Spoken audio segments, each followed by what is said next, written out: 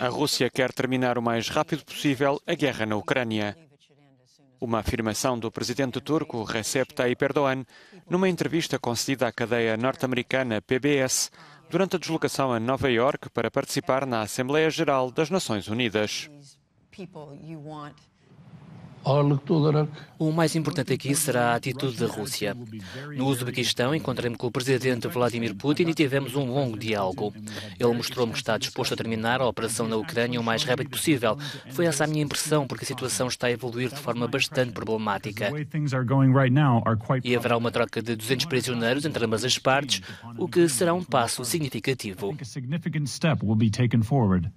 Erdogan tem defendido o potencial de mediação da Turquia no conflito e voltou a sublinhar o desejo de organizar um encontro entre Putin e o presidente ucraniano Volodymyr Zelensky.